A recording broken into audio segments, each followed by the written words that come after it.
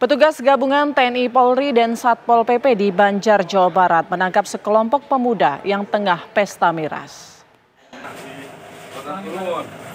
Aksi peta, pesta miras yang dilakukan para pemuda ini terhenti setelah petugas gabungan memergoki ulah mereka di Jalan Panatasan, Kota Banjar, Jawa Barat. Setelah dilakukan pemeriksaan sementara di tempat, petugas menemukan sejumlah botol mineral yang berisi minuman keras.